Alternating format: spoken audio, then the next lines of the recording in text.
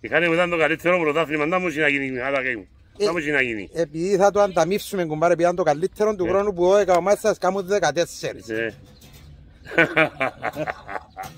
Εγώ πάρε, μα δεν το πείσατε να πιάνουν το πρωτάθλημα ενώ από νόα και πιάνουν το.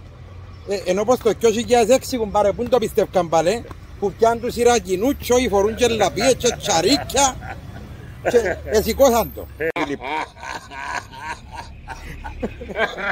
Φίλιπ. Φαντάστηκες, εθνικός άχνας να πέναμε η δόξη στον κομμάτι που είχε να γίνει. Τελικό. Τελικό. Μμ.